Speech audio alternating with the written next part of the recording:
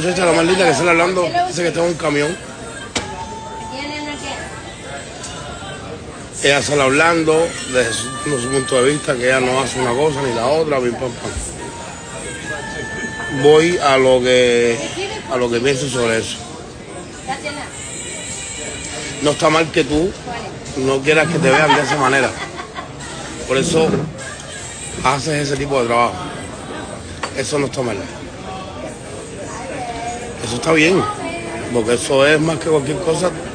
Tú te estás valorando como, como tú te ves y no como la gente te ve. No, no, vamos a hacer camionero ahora, pero bueno, me, me- eh, incurso en el, en el tema. Ah, la gumba. Ok, eh, esta es esa parte de la vida. Y esta es esa parte que es bonito que una, que una persona, no, ni hablo de mujer ni de hombre, una persona se ve así. Que se valore. Eso está bien.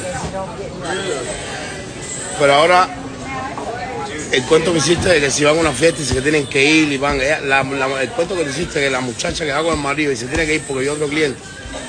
Bueno, si yo, si, yo viera a la muchacha le, le diría, mira, te fuiste porque quisiste.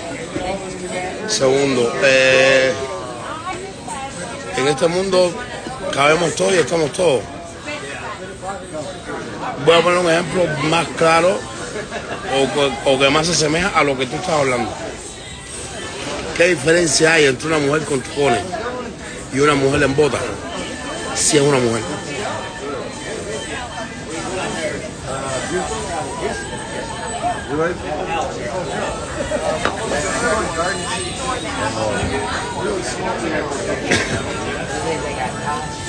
¿Sabes?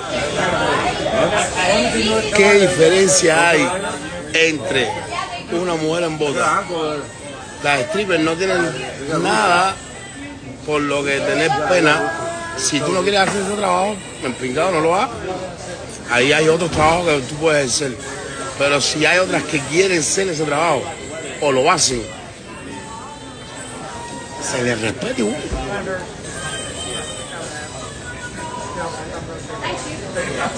Porque la otra tenga un, una esté vestida de ropa de, de, playa, o esté vestida con un bikini, o esté vestida eh, con unos tacones y tú tengas un pantalón puesto, una no hace que tenga más moral que la otra.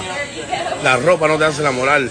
El, el, el trabajo no te hace la moral, el estatus no te hace la moral. Eh, la moral es personal y viene de ti.